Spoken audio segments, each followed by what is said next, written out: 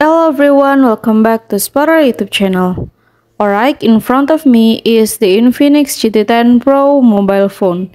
And in this video, I will share with you a tutorial on how to get rid of the sound while typing. You guys must have felt annoying when you are typing and there's a sound on every letter you type and it's very annoying. So to get rid, now open an application to allow you access the keyboard. I choose WhatsApp and then this is you can click message over here to show the keyboard. So now you can click the emoji icon on the corner like this and then you can scroll down. So now you can click more over here. And then you can click input.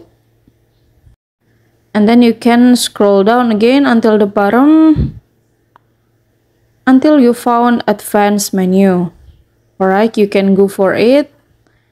Alright, now you can turn off sound of key press or you can also adjust the volume or if you want to quiet down, you can turn off the sound on key press over here.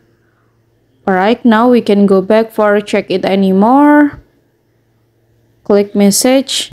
And finally, now your keyboard will no longer make noise when typing. Alright, here's the tutorial and thank you so much for watching.